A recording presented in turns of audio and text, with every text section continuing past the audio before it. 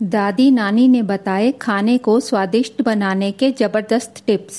Number एक, लंबे सफ़र के लिए पूड़ियाँ बनानी हो तो आटे को पानी के बजाय दूध में गूंद लें। पूड़ियाँ कई दिनों तक खराब नहीं होंगी।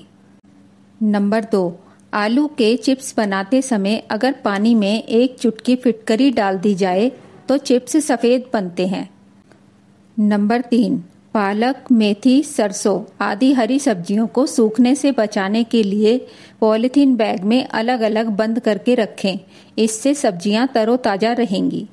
नंबर चार, आलू की टिक्की बनाते समय उसमें थोड़ा अरारोट मिला दीजिए। टिक्की कुरकुरी बनेगी। नंबर पाँच, खाना बनाते समय हाथ चलने पर टूथपेस्ट लगाने से छाला नहीं पड़ता और जलन में राहत मिलती है।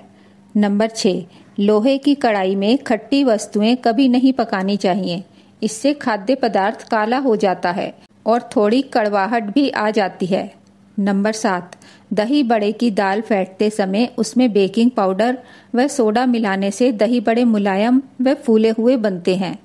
नंबर आठ, हाथों से लहसुन की गंध को दूर करने के लिए हाथों पर थोड़ा सा नमक मल लें। नंबर नौ पूड़ियों के लिए आटा गूंदते समय यदि थोड़ा सा बेसन मिला लें तो पूड़ियाँ करारी बनेंगी। नंबर दस, यदि चावल बनाते समय पानी में थोड़ा सा घी डाल दें तो चावल चिपकेंगे नहीं खिले खिले बनेंगे। अगर आपको हमारी वीडियो पसंद आई हो तो वीडियो को लाइक और चैनल को सब्सक्राइब करें। वीडियो देखने के लिए आपका बहुत बहुत धन्यवाद।